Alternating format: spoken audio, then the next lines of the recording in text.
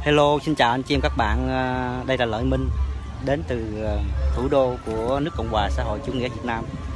Hôm nay à, mình cảm thấy rất là hãnh diện là một con người Việt Nam được trở về với lại cái cái cái gọi là cái quê hương, cái tổ quốc, cái đất nước của mình.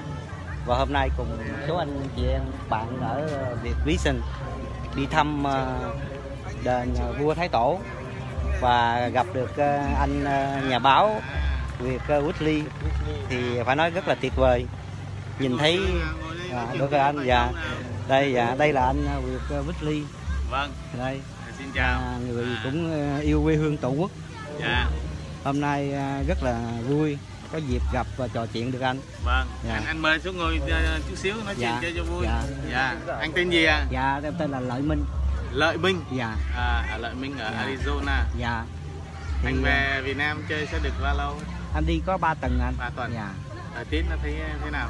Thấy tuyệt à? vời nói chung là khí hậu thì ở Việt Nam mình nó là nhiệt khu- vùng nhiệt đới mà Vâng, vâng. thì nó mình mới về thì nó có những cái sự thay đổi về nhiệt độ thì ừm, phải nói là nó không có gì mà phải trở ngại tại ở Arizona nó cũng là sa mạc thì nó rất là nóng Đúng rồi. thì về bên đây à. thì nó chỉ có cái là nó hơi ẩm ướt một chút thôi Dạ. Dạ. Anh sẽ dự tính anh ờ, đi đâu đi chơi chơi làm gì?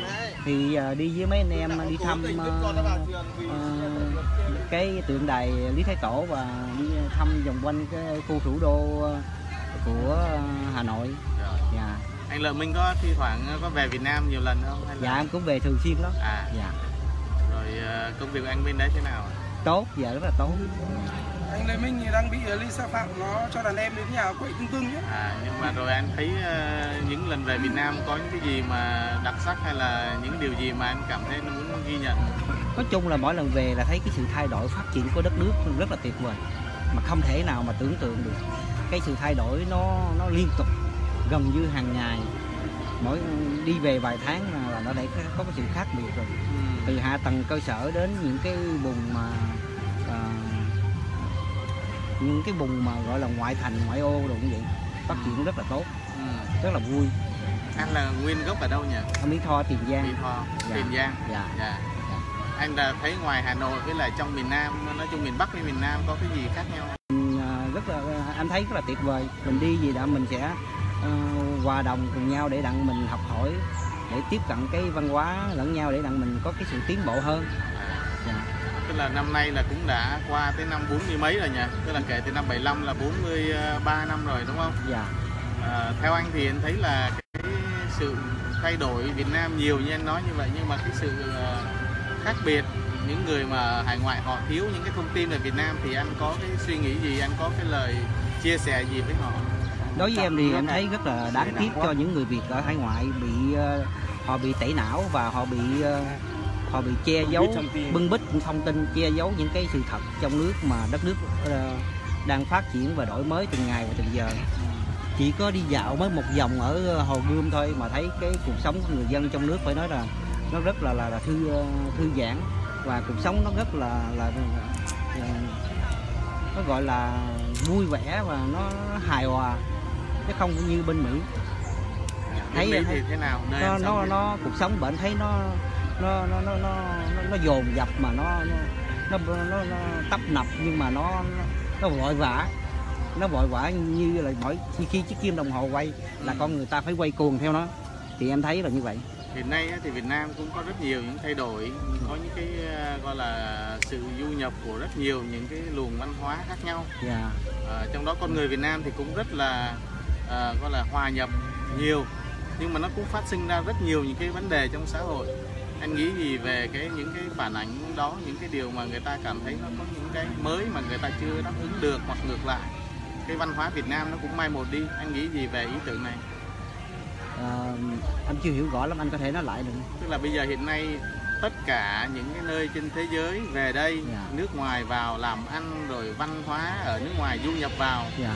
Con người Việt Nam mở cửa ra để mà đón nhận những cái điều đấy nhưng mà nó có cái sự giao thoa về cái sự mất và được được và mất trong những cái sự thay đổi đó. Về văn hóa. Em về thấy văn thì hóa hoặc là về cuộc sống nói chung. À, anh Lợi Minh có cái nhận xét gì về những cái điều đấy hay không? Em thấy á, thì về mất thì mình không mất tại vì khi em bước lại về đây em nhìn thấy cái cái nét văn hóa của mình nó vẫn còn y nguyên. Tại vì em nhìn cái tượng đài Lý Thái Tổ mà cái người dân họ cũng đến đó thắp hương để tưởng nhớ đến những bậc tiền nhân thì cái văn hóa không thể nào mất. Và hiện nay mình tiếp nhận những cái văn hóa của phương Tây thì mình mang cái tính cách nó gọi là nhân, nó nó văn minh hơn một chút. Cái của một cái thời kỳ mà hội nhập. Em thấy gì nó cười kỳ hội nhập. Nhưng mà cái nét văn hóa cổ xưa mình vẫn lưu truyền và được ờ, truyền lại cho những đời con cháu và những từng những cái lớp kế tiếp. Và hiện tại những cái ngay cả những người mà lớn tuổi họ cũng đến cái ờ, tượng đài Lý Thái Tổ rồi họ thắp hương để như, ờ, giữ cái truyền thống của dân tộc phải nói rất là hay.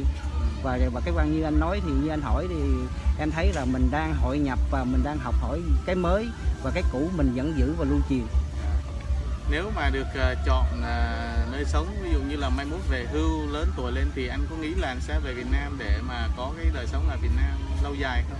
chắc chắn là em sẽ về Việt Nam hiện nay thì em cũng có cái ước nguyện là đầu tư vào Việt Nam mạnh hơn để đặng mà sau này mình có một cái nơi để mình về mình mình sống trong cái tổ quốc cái quê hương của mình Rồi.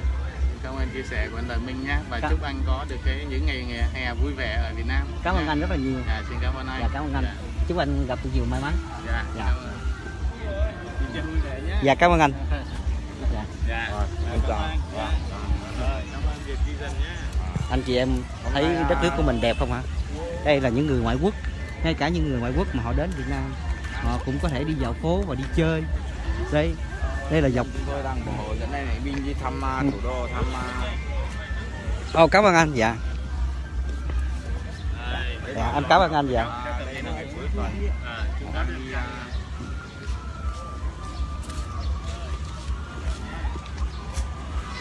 những cái thành phần mà đang tranh đấu gọi là dân chủ tôi không biết họ đang làm cái gì nữa. Mà trong khi đó tôi thấy tôi thấy đất nước của mình sống rất là bình yên. Người dân thủ đô sống rất là hài hòa và cuộc sống phải nói là rất là tốt. Không có cái tính cách gì gọi là phi ờ, nó phản ngược lại cái vấn đề mà dân chủ hết Đấy, các bạn thấy từ mọi tầng lớp trong xã hội khi mà cuối tuần thì người ta lại đi vòng quanh những cái khu vực và cuộc sống như thế này.